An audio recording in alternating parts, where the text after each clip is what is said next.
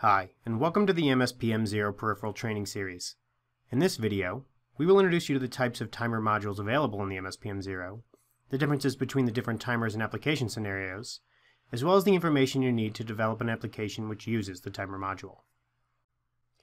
The timer modules available in MSPM0 will vary depending on which device you choose.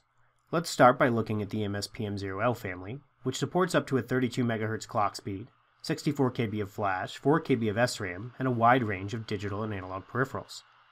As you can see from the block diagram, the MSPM0L family of MCUs integrates four general-purpose timers, called Timer G modules, which each support two output capture compare modules.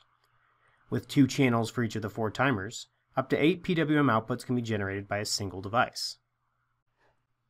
The MSPM0G family of MCUs provides more computing power than the L family, supporting up to an 80 MHz main clock speed. The maximum memory is also upgraded to 128 KB of flash and 32 KB of SRAM.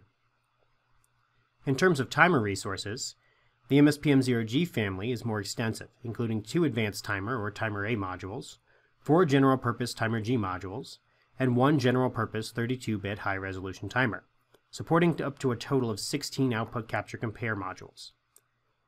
The advanced timer A modules also feature automatic complementary output channels, so one device can support up to 22 simultaneous PWM outputs. So what are the differences in function and structure of the advanced and general purpose timers? The table here summarizes the features of the two types of timers available in MSPM0, timer A's and timer G's. The two types are differentiated based on the realization of counting, input capture, output comparison, and the integration of additional features.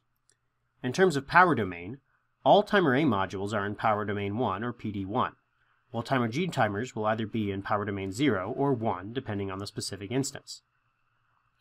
Timer A and timer G0 to G11 all include a 16-bit counter, while timer G12 and G13 have a 32-bit high-resolution counter. Also, all Timer A and Timer G modules include a clock prescaler that allows for division of up to 256 times, providing more flexibility in setting the frequency of the timer clock. Timer A0 includes a repeat counter feature that allows the setting of a specified number of timer cycles to pass until an interrupt is triggered again, which can be used to optimize the number of CPU interrupts and wake-ups. All timers in the MSPM0 support input-output capture compare, Timer A0 supports four channels, and other timers support two channels. Timer A also supports complementary output channels for each capture compare, supporting up to a maximum of eight outputs, or in other words, four PWM pairs. MSPM0 also has shadow registers available um, on some timers for some specified values.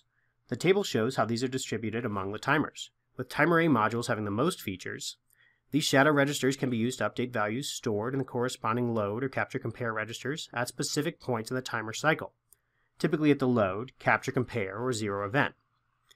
Within Timer A, dead zone generation and fault mechanisms are also supported. These features make the Timer A modules ideal for applications where shoot-through current prevention and current limiting by PWM truncation are required, such as motor control and power electronics. Certain instances of the Timer G module provide a QEI encoder um, or a Hall signal detection interface to reduce load on the CPU for monitoring position and speed. Let's look a little more in depth at the advanced and general purpose timers. As mentioned, the general purpose timer, Timer G, has a 16 or 32 bit counter, which supports up count, down count, or up down count modes. The timer can be used for triggering other peripherals and also supports synchronous triggering. Some instances contain a shadow register to update the timer period or capture compare value synchronously. The two capture compare modules, CC0 and CC1, are connected to the pins of the MCU after some internal signal filtering and synchronization. These can be used to generate output based on the comparison of the timer count to the capture compare value, which is used commonly to generate signal output such as PWM. These can also capture input signals. This is useful for things like edge counting or calculating the period of an input signal. Timer G8 to G11 also contain QEI modules for hardware decoding of orthogonal encoders or Hall signals. Here you can see the available QEI module interface uses three wires, PHA, PHB, and IDX. PHA and PHB are the same CC0 and CC1 channels that we discussed, while IDX is a separate channel. So in summary, the Timer G modules can provide basic program timing, synchronized triggers of CPU interrupts or peripheral events, input capture and output comparison functions, quadrature encoder decoding, period measurement of Hall signals, and more in unique configurations. The advanced timer modules, or timer A modules, add additional functions to the timer G modules.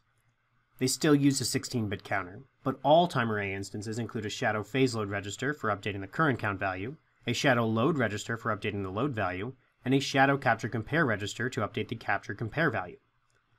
The timer A0 instance also has four external capture compare channels. Each external CC channel also has a corresponding complementary output meaning that a single timer instance here can generate up to 8 PWM outputs simultaneously. The advanced timers also support the insertion of deadband between complementary outputs, making them ideal for use in motor control and power electronics applications.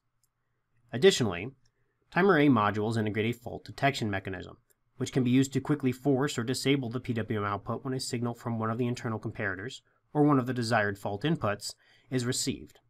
This fault detection is useful in overcurrent and overvoltage protection scenarios, such as in motor driving. If you're interested in evaluating or using either of the types of timer within the MSPM0, there are quite a few resources to get you started. First, we recommend purchasing the MSPM0 Launchpad to use as your initial development hardware. With the Launchpad, you can work through our MSPM0 Academy for the timer modules, this online tutorial will help you understand the configuration and usage details of the timer module through successive tasks, questions, and instructions. You can also refer directly to the driver lib examples in the SDK to see how to write software that uses the timers in a number of configurations. If you want to learn more, you can access any of the documentation shown here. Accessing Resource Explorer will allow you to see all examples and documentation for MSPM0 in your browser without any downloading required. There is also a handy Quick Start document, which provides more detailed instructions for beginners to set up their development environment. For more detailed information on the MSPM0 family, look at the datasheet or technical reference manual for your part. If you want to customize the configuration of the timer module, you can use the sysconfig graphical configuration tool. Using sysconfig, you no longer have to manually calculate the appropriate load or capture compare values to generate the exact timing or PWM frequency and duty cycle you want. Simply add the appropriate timer module, fill in the desired configuration of the module settings, and build your project with the generated configuration code. This concludes our introduction to the timer modules within the MSPM0 family. Thank you for watching. The presentation files for this video are included in the video description, so you can access the provided links to training and resources.